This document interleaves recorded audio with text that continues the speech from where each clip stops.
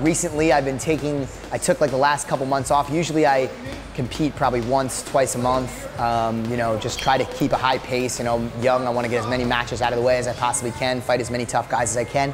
Uh, but I took a couple months off because I needed to get my, my business in order and my finances and everything like that. So I tackled a lot of uh, a lot of business stuff for the last couple months. Started a new apparel company. Um, you know, excited about that, and uh, just it, it, puts my mind a little bit at ease. Most of the time, I'm just focusing on being an athlete, but you know, I always have this other business stuff hold, held over my head. You know, with my academy and everything. Uh, it's just nice to kind of like get some of that stuff done. Um, but uh, back on track now, and I'll be competing heavy. I have uh, you know, Polaris obviously coming up. Right after that, ADCC, and then I'm sure we'll find some more matches till the end of the year. And uh, you know, I'm just just happy to be a professional grappler. Life is good.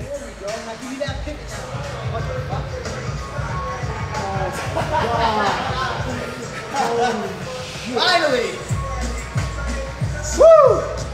He gets you that shit every week. Every week. I told you I'd come back for you. I make sure I build a solid foundation in uh, boxing, Muay Thai. Uh, hopefully one day I'll get a chance to meet up with somebody to train some karate as well, to get some distance management. Um, I'm really looking to be fundamentally sound when it comes to standing on the, uh, on the feet. Um, so that when, I go, when it comes to trying to set up a takedown or whatever the case may be, I have some sort of foundation to work with. I'm able to defend myself. I'm not just relying on you know, a scramble to a takedown to for every victory. You know, I want uh, I want to have control, and I've always made it a big part of what I do. I might not be the best wrestler in the world. I might not be the best uh, no-gi judo guy in the world, but I certainly work on those skills consistently to make sure that you know I'm at least up to par. So if I want to hit a move in a standing position, I can at least be convincing with it, uh, so I can maybe set something else up. You know, uh, I think it's extremely important uh, and something that a lot of people are not doing. And when I plan to transition to MMA, that's what I plan to do. Um, so you know, what you guys are going to see is you're going to see me boxing more. You're going to see me doing Muay Thai more. Um, all these different skills, and I'm going to try to eventually, fundamentally, put all of them together. That's also another piece of the puzzle. Um, but you know, I'm just I'm working hard. I suck you know, but uh, we're getting better every day. So uh, I'm very excited to do my striking training. Sucks getting hit in the face, but hey, it's part of the game.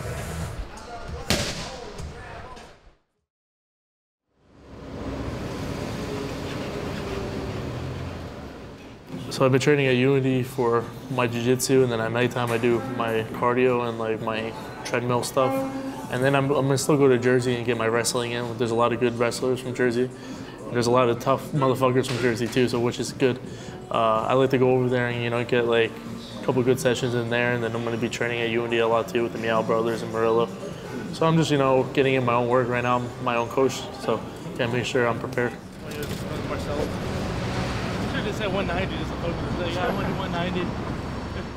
Yeah, I mean that fight was it was what it was, you know, and I took I took it pretty hard. So I've been thinking about that match ever since. I haven't. There hasn't been a day that's gone by that I haven't thought about that match. I had dreams about that match, and I know what it, what it's gonna take to, you know, come back and avenge my loss.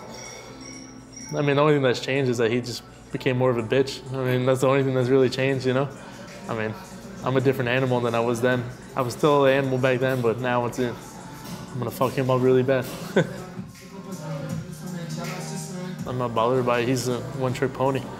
I mean, you know, I mean, the whole team are one-trick ponies. So, I mean, I respect them though because they, they go out there, they fight, you know, they, they talk shit and they back it up, you know. So I can see where they're coming from. I do respect them at the end of the day, and this is just business. But I'm gonna have to kick his ass. At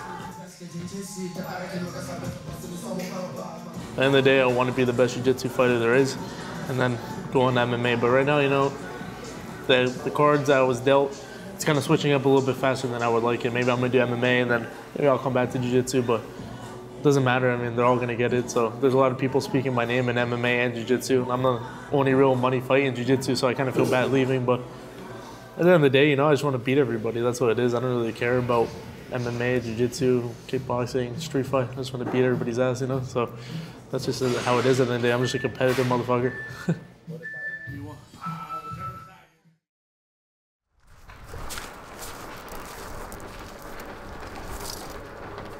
saying the way that you uh, the way that you get good at tearing cards is buying packs of hundred decks of cards.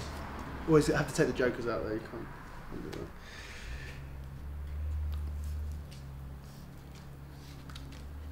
Uh, it's, a, it's a pretty good half. I'm gonna see if I can. Uh, I might actually be able to quarter this. Oh yeah. Oh, it's a pretty clean quarter. Then we go really crazy. See if we can go one eighth.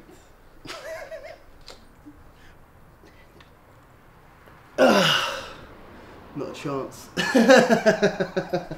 so this is the replicate the head of the anvil. Can you see the anvil over there behind you?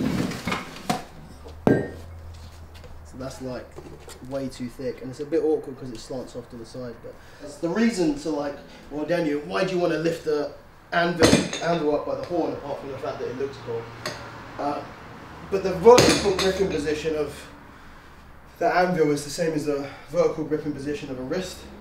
So the problem that people have when they're, they're doing any barbell stuff, whether that's like doing pull-ups to train their grip or doing rows with any handle that has two anchor points. So like a handle like this has two anchor points, right? Mm-hmm. But when you're wrestling and you're coming, you're, you're here, you only have one anchor point. So all, a lot of that, that angle that you're gripping is a horizontal gripping position. It doesn't really work. You need to be able to transfer that into a vertical gripping position when you're coming into here and controlling here and stuff like that. But the stuff that you do for gi and no gi, for grip training, are completely different. So like this stuff here is obviously no gi stuff. A lot of the forearm stuff, even the way that like I do pull-ups is different. And so I do almost all my pull-ups like this. Because from here, the difference between the forearm engagement and the wrist engagement from here to here is completely different. So like my wrists are completely straight here, so how am I working a hooking angle that you're going to use in no gi a lot? So from here, you're really using this hooking angle to engage a lot more of the forearms. So even like that, like how you do pull-ups, obviously the best thing to do is to work all of them. But how you do pull-ups is like really big difference between like gi pull-ups and no pull-ups. It almost sounds ridiculous.